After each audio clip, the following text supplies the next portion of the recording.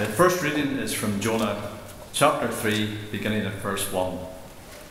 And this can be found on page 928 of the Pew Bible. Then the word of the Lord came to Jonah a second time Go to the great city of Nineveh and proclaim to it the message I gave you.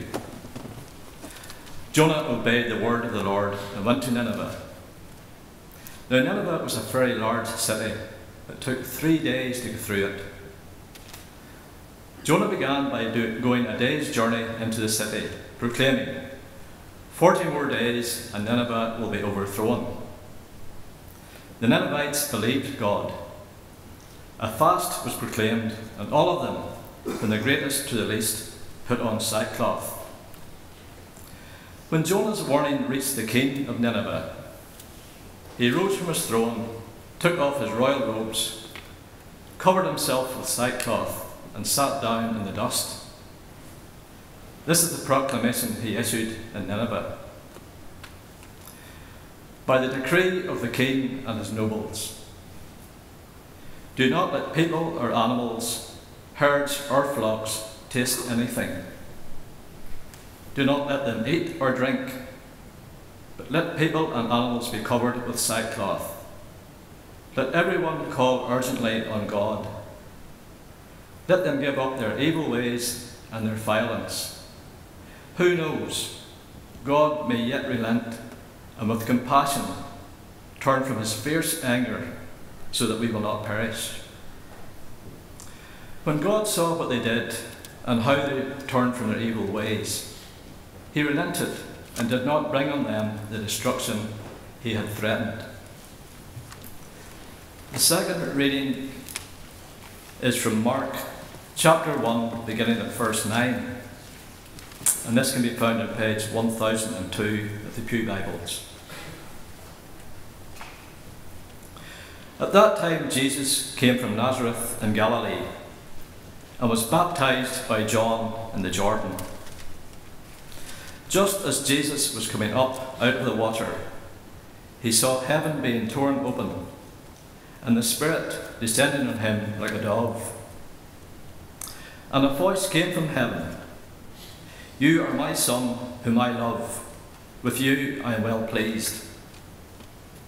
At once the Spirit sent him out into the wilderness, and he was in the wilderness for forty days, being tempted by Satan. He was with wild animals, and angels attended him. After John was put in prison, Jesus went into Galilee, proclaiming the good news of God. The time has come, he said. The kingdom of God has come near. Repent and believe the good news. This is the word of the Lord. Thanks be to God. Just keep that wee verse up and we'll just pray into that, Lord God. As we sing, we remember that every day we have on earth is given to us by you. You are the King of our lives. So, Lord, help us acknowledge you as King. Help us give our lives our all to love and follow you. Lord, Holy Spirit, be at work in each of us. In Jesus' name we pray. Amen. Please be seated. Wonderful lyrics in that hymn and many of the hymns uh, that we go through. And when we read them and we sing, uh, thinking about what we're reading, they say it is praying twice. Uh, we offer these wonderful uh, words up to God in prayer and praise. So we continue through Jonah. This is our fourth sermon. We're into chapter 3, and I think uh, the next uh, Sunday after All Age will finish us off. Uh, so we're into chapter 3 at this point. And the first thing we notice, notice about this chapter that Nigel read for us, uh, chapter 1, is we see a similar situation, don't we? Uh, God inviting Jonah to do something, but we see an alternative response. This is us in chapter 1, verse 1. The Lord Word of the Lord came to Jonah, son of Amittai Go to the great city of Nineveh and preach against it, because its wickedness has come up before me. But Jonah, naughty Jonah, ran away from the Lord and headed for Tarshish. At the start of chapter 3, which we've just read, after the boat, after the storm, after the fish, we have an identical command from God, nearly identical, uh, but as expected, a very different response from Jonah, given what he's been through, all the drama, his humbling, his repentance, his redemption. Jonah has a, a different response. Verse 1 The word of the Lord came to Jonah a second time Go to the great city of Nineveh and proclaim to it a message I give you. And then verse 3 Jonah, this time, obedience. Instead of disobedience, obedience. Jonah obeyed the word of the Lord and went to Nineveh.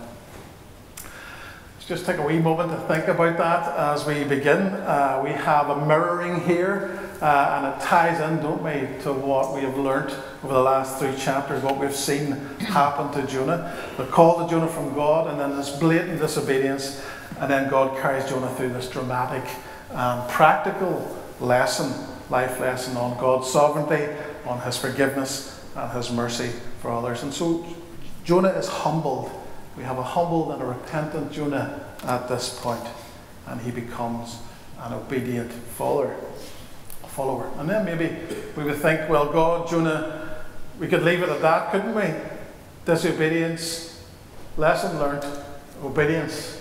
You'll not do that again, will you, Jonah? No, of course not, God. Is that not where we leave it? But no, it doesn't end there. Jonah might, it seems, know he himself is a saved person. He has been saved by the God of salvation. But does that mercy, does that love of God extend to others for Jonah? We'll have a wee look at that. Just now, just think about the idea of the difference between these two states in Jonah, between obedience of God and disobedience of God. We'll look at that for a wee second as we begin. I don't think for a second that our disobedience or our obedience of God will ever in a million years look anything like Jonah's experience. I don't think that any of us will be brought through a redemption story like Jonah's in these first three chapters. But what we should see, what we should notice, is that as followers of Jesus, if we are committed followers, committed to following Him in this life, believing in Him for real, following Him for real, then that will bring about the work of the Holy Spirit in us, which in a way will be like a request to follow God's command, like Jonah had. And in response, we will have an option like Jonah to obey or to run. And the journey that's before us on our Christian walk, well, we will be asked to walk in God's steps in His will. And we will always have that choice. We have that choice daily. I'd rather not. Or to go, okay, I will. For the repentant believer, the Holy Spirit, with the help of God's Word, is there to guide us, to help us journey in God's will, to keep us on the right path. You all know this verse Your Word is a lamp to my feet, a light on my path. God's Word is God's voice coming to us, instructing us, guiding us. And that will guide us in our lives on His path. Every one of us will have a different set of challenges, a different way in which we will need to trust in God given what we face. But that's what we're asked to do. Through the Holy Spirit, we're prompted to know what God's commands are for us, His path for us, and we either choose to follow or we run in the opposite direction. That choice is always there for us, always will be there for us every day of our lives. The journey of the Christian is following God's will in our lives, learning His will for us through His Word, through prayer, and seeking to follow that. That's where every day we have opportunities like Jonah to scarper. Jonah here at this moment is sure, he is reminded that it is better to be in God's will rather than against God's will. If you are a believer, if you have journeyed with God, if you are doing life with God, then you will know that feeling. That feeling when you're doing something that you know is outside of His will and there's an uneasiness with it. And at the same time, you will know a peace. You can get nowhere else when you know you're in God's will and you're doing what He wants for you. Holy Spirit guides us.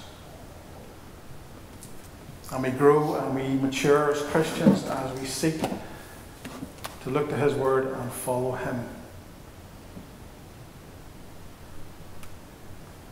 Anyway, this is life for Jonah now, a life of obedience, you would think. Jonah obeyed God. Verse 3 Jonah obeyed the word of the Lord and went to Nineveh. Now, Nineveh was in a very important city. A visit required three days. It's a bit strange, a bit uh, important city equals three days. What does that mean? Well, it's actually less about size. Uh, this three days mark, it's not about the uh, like that's how long it took to get across it. It's more about the importance, the size of the city in terms of its importance. It's more about procedure. This, if an important visitor in these times arrives in an important city to give an important message, somebody like a diplomat, or like a prophet, or like a messenger, then the three days were required: one for them to settle in, two for them to deliver the message, and the third day for them to be responded to. That message to be responded to by the locals. So this was an important city. You don't just rush in, blur out the message, and rush out again. A day to settle, a day to share, a day to receive. And so Jonah proclaims then what God told him to say 40 more days, and Nineveh will be overturned. Like any preacher, like any order, they are open to people asking them questions, and that would have been different. You know, it is while they thought that, that Jonah, the prophet, the preacher, will not have just said these words and then scarpered. It is probable that he would have gave, give people more context. Would have said, "Well, what do you mean by that?" And Jonah will have explained, I'm sure, that this is his God, the God of the Hebrew God. And this is His will. And it's because of your actions, because of what you've done. He would have reminded them of God's nature. And the bottom line is whatever they heard that Jonah had said, they were convicted. Sorry, verse 5. They were convicted as a nation, heavily convicted en masse, it seems. Verse 5 the Ninevites believed God. They declared a fast, and all of them, from the greatest to the least, put on sackcloth.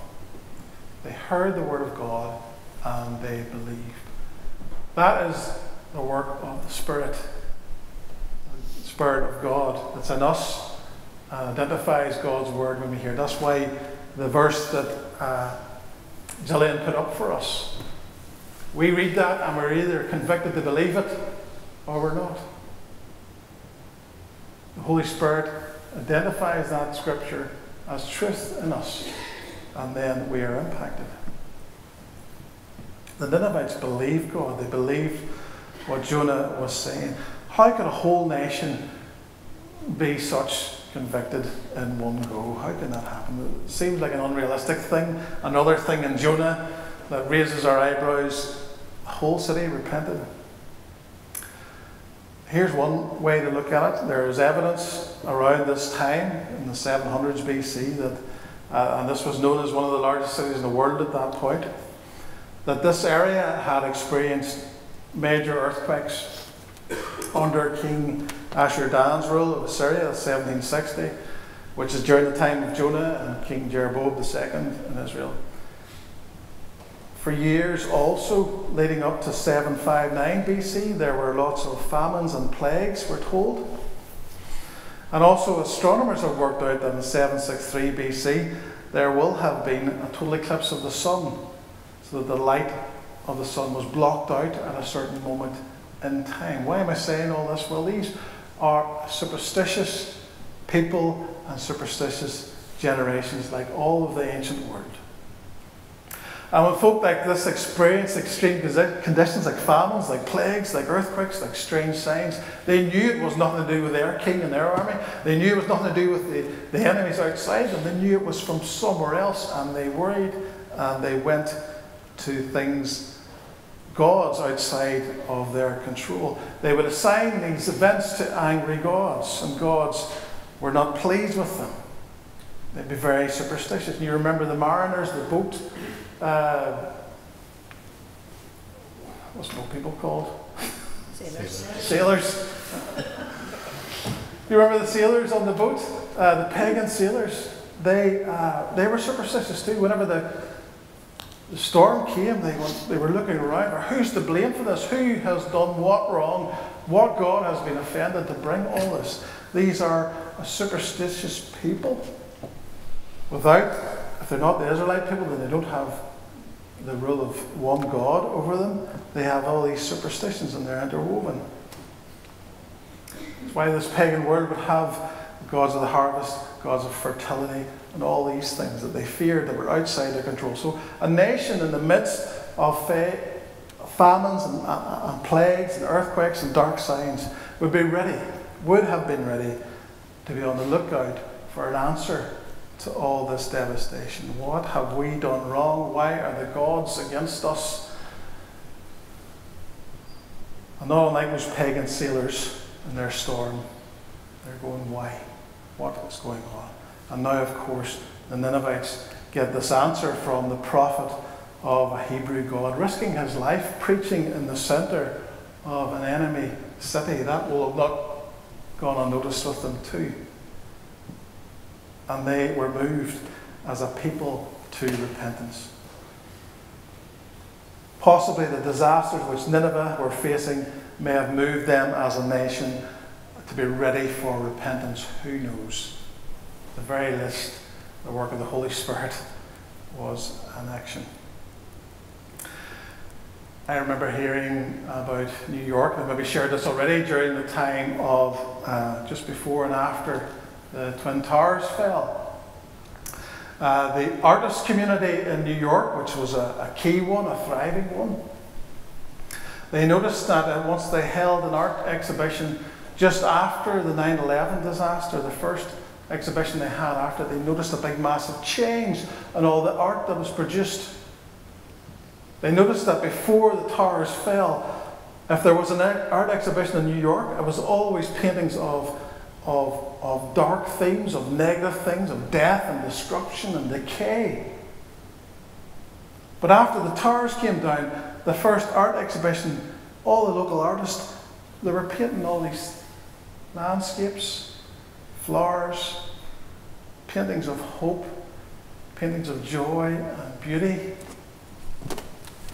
Almost as if the whole people, because of that one disastrous event, were turned to good in some way, wanted to express something of goodness, something of God in their artistry. Major things can happen like disasters two major areas, and everyone can be impacted. Everyone can develop a sorrow. Even events can humble a whole nation. So, was that what happened here? The Assyrians were so convinced that they all repented, verse 5, from the greatest to the least of them, and even the king. Verse 6 When the news reached the king of Nineveh, he rose from his throne, took off his royal robes, covered himself with sackcloth, and sat down in the dust. Any nation, any any leader of any nation, you would expect the leader to be the one to be the most concerned about how things are going in that country, in that nation. And you wouldn't be surprised if this conviction, this natural conviction that came to the people, came also to the king, who is the leader and the one to look to. These are very symbolic acts, especially for a king. His throne, his robe, were important. These are very public signs, public signs of repentance and humility before God. These are sort of the, almost the, the most extreme signs that the king could do to show something. Getting off his throne, basically getting off the seat of his nation and sitting in a pile of ashes instead. Swaps the seat of high power for a seat of desolation and ruin. Takes off his royal robes, which would always have been the most luxurious, most fine material, uh, most comfortable material, plush, and then he wears sackcloth, coarsest, the most uncomfortable material made of black goat's hair, whatever. So you can see how a nation would really, as a whole, repent, especially when the message comes down from the king and his nobles, and he hammers it home. He orders a decree that every man or beast, even their animals in the field, fasted and be covered with sackcloth and ashes. A mighty order, a mighty gesture from a king and all the people. And the king then says, Who knows? God may yet relent and with compassion turn from his fierce anger so that we will not perish. And we talked about last, last week. Even though he knows he's guilty and he deserves what for from this God, he repents, which is right, and then he hopes. Maybe God, in his compassion, will relent. And good news. Good news for the king, good news for Nineveh when God saw what they did and how they turned from their evil ways, he had compassion and did not bring upon them the destruction he had threatened. This does not mean that God made a mistake and then changed his mind, realizing that he, was wrong in any way. God was right to condemn Nineveh for the wrong that came up against them, but he's also right in his character in his nature to forgive those who repent. This is the wonderful good news of the God that we have. We have a God who relents, who has compassion, who forgives.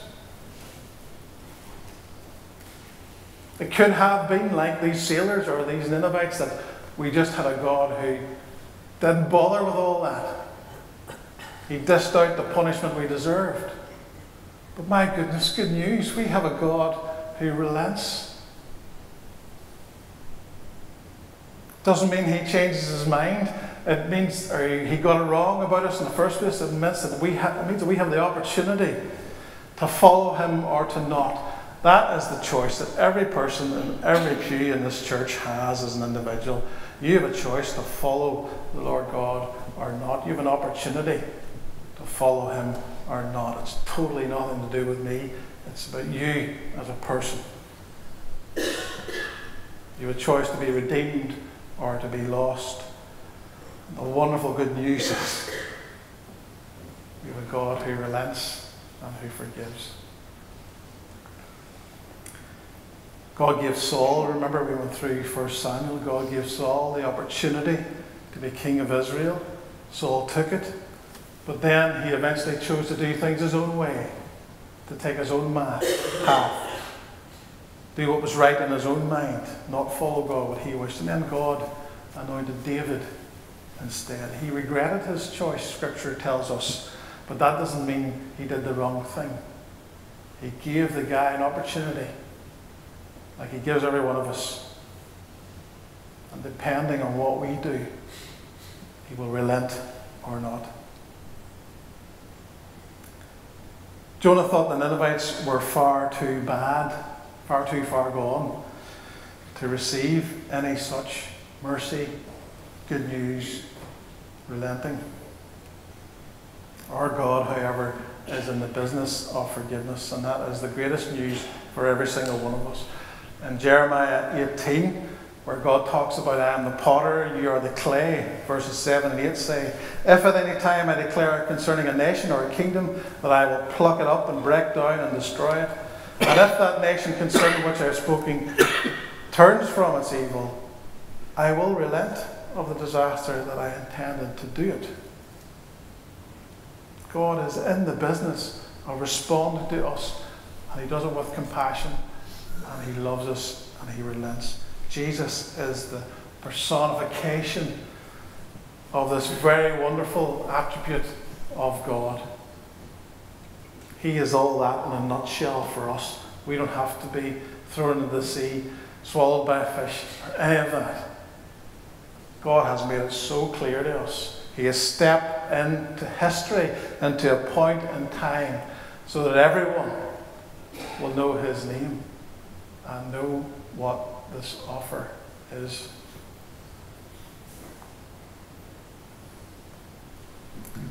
Something to be celebrating that we have a God who is in this business.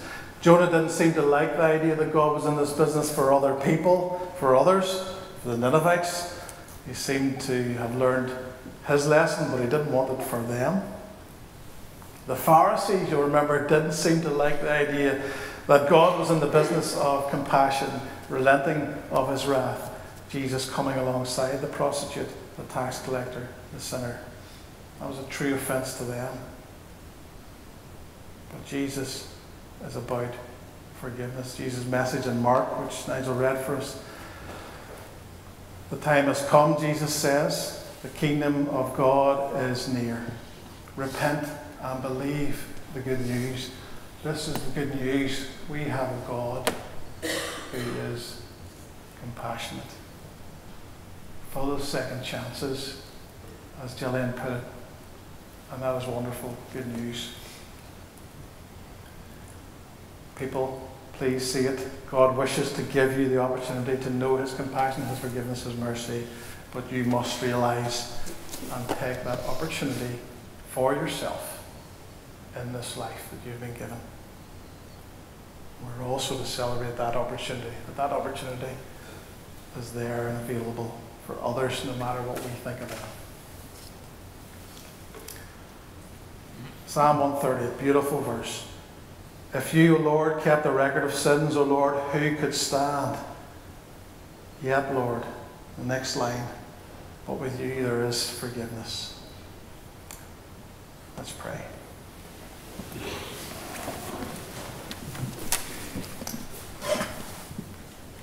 Lord, we want to thank you that you are in the business of forgiveness, in the business of relenting. That is nothing but good news. You show that mercy and forgiveness to those who deserve punishment, but instead,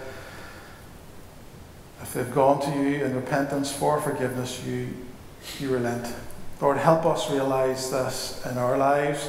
Help us recognize the wonderful good news that is available to all of us who trust in Jesus.